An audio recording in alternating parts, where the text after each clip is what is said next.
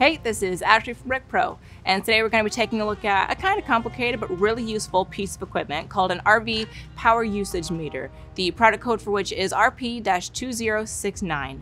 Now, it comes with this optional switch plate, which goes on the back like this and snaps into place, and you can also check out the dimensions on the screen.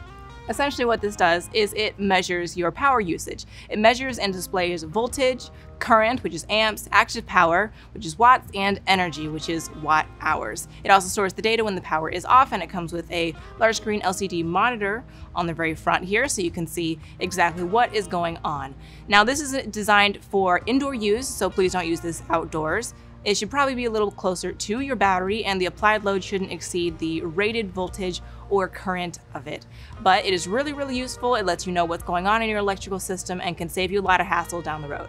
So if you want to find out more about this, you can check the link below, like, comment, and subscribe. And remember, when you're rolling down the road, roll with RecPro.